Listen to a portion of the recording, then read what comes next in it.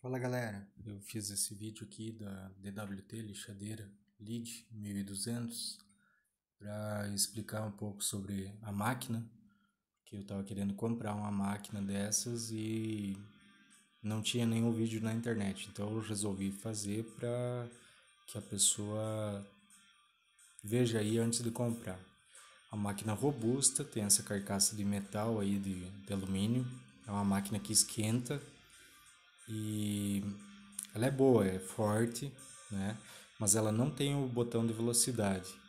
Esse estojinho que vem aí para coletar o pó é uma porcaria. Já no primeiro dia de uso já foi. Coloquei uma fita para terminar o trabalho.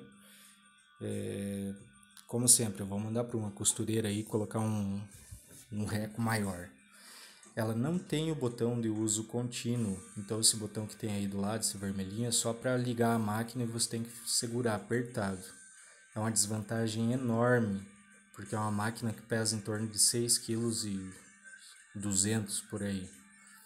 É, a lixa que veio na máquina estourou, então nesse momento do vídeo aí já tinha estourado. Mas a lixa até que é, foi boa.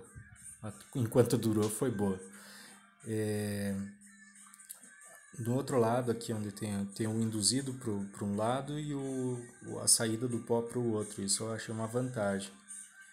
É, a, a, apesar de tudo isso, a grande desvantagem é o, o, sistema do, do botão ali que não tem a trava e acaba, vai acabar dando problema no, no braço de vocês aí, no tendinite e outras coisas mais. Então se for para trabalho pequeno, até um metro e pouco, eu recomendo. Aí nessa parte do vídeo tem a, a madeira já lixada, né? Que foi feito anterior o vídeo. E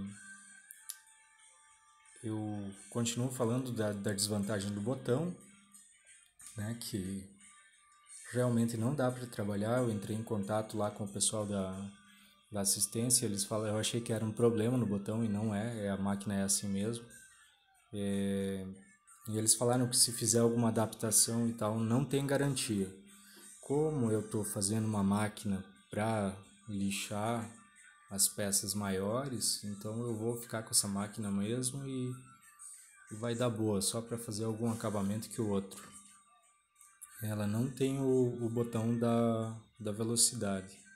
O coletor de pó dela é, funciona direito, funciona muito bem, por sinal. Ele passa por essa lateral aqui e sai, sai aqui para cima. E o induzido dele é do outro lado, então eu acho que vai durar mais, assim, porque a outra lixadeira que eu tinha era todo o sistema para o mesmo lado.